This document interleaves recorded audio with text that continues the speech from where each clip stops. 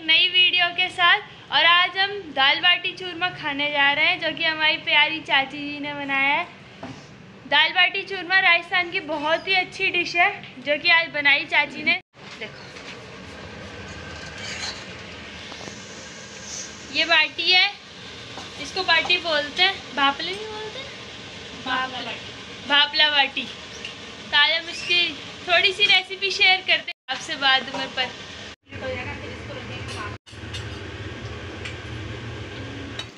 दाल बाटी में मेनली दाल होती है बाटी होती है ये चूरमे वाले लड्डू होते हैं प्याज और इसको ना दाल में ऐसा नींबू डाल के निचोड़ के खाने में तो अलग ही मज़ा आता है। दाल खटी खटी सी लगती है अच्छी लगती है आप भी ट्राई तुम्हारी बहू की याद की बाटी। बढ़िया। है ना? कैसी अच्छी लग रही है। जितनी तू जाए लगे थोड़ी थोड़ी। जब भी तूने मेरे रब्बा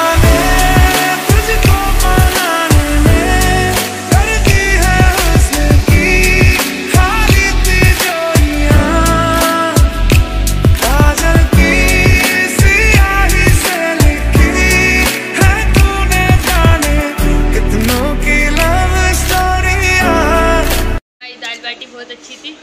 ख़त्म हो गई। पूरी ख़त्म हो गई। अफसोस हम लोग आपको नहीं खिला सके। बहुत अच्छी थी। आप भी कभी ट्राई करना दाल बाटी और इसकी फुल रेसिपी बाद में अपने चैनल पर डालेंगे। अभी बनाई नहीं है, बाद में डालेंगे। तो thank you for watching thank you for watching my video